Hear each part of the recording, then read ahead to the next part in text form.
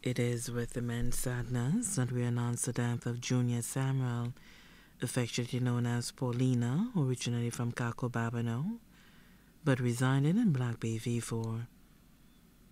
She passed away in the Victoria Hospital on Friday, 10th December 2021 at approximately 3:30 p.m. She was 53 years old. The funeral service for the late Junia Samuel, affectionately known as Paulina, will be held at the Victory Pentecostal Church on January 12, 2022 at 2 p.m. and the body will be laid to rest at the Latony Cemetery. The body now lies at Crick's Funeral Parlor. The family would like to mourn in private.